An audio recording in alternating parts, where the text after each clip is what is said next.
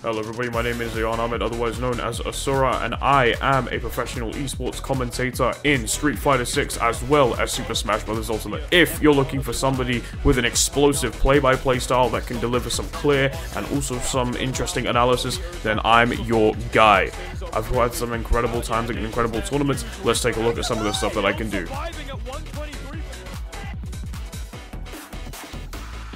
They were all really fun to watch as well, and they were absolute slobber knockers, especially Yes. the Buzz versus uh, versus Infamous. Yes. that was the tightest set that I think we watched all day Yeah, yesterday for top 16. So honestly, it was huge. But today we are here with the tail end of the mountain here as we get set for top eight at Rise and Grind here in the heart of Waco, Texas. Yeah, should be. Marisa for being plus, so she's going to continuously keep on trying to put the pressure on. But here we go. Riddle's starting to show where he shines. Going to try to potentially catch him with a sidewinder, but no one was home there. EX Smash comes out once again there.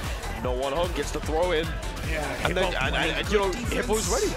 His Oh defense. my god, Last frame, perfect stuff from Sistine. We've seen it so many times that every time Furious puts himself in this situation, we're getting a perfect. Yes, we are. Sistine able to go ahead, reverse the situation, put it finals here. The level three gonna send Riddles into burnout here once again. We're gonna see some more of these air slashes come around it. Gonna try to fake it out there, maybe bait Riddles into doing something stupid here. And we can see the projectiles just slowly getting into it now. Here we go now. The answer gonna put on the pressure once again. Riddles doesn't want to find anything, gets the jump, heavy punch right in there. Oh! Driving back comes up with the answer. And what a way to reverse it. The answer finding himself in winners finals of Rise and Grind top eight. Nothing in this edge guard. Gets a falling up it. Gets another one's gonna try to go for it again. Uh-huh. Gets him there. Messes it out though. There's the side being explosive flame. Doesn't exactly touch. Forward smash will do it. Now they're both down to one stock apiece. Do you believe in miracles? I oh, 100%. Here for Sparkle, we've seen this situation before. Once again, kind of going in a little too deep, losing that RB and losing that stock as a result of that as well. You've got to be careful where you put yourself in this situation here.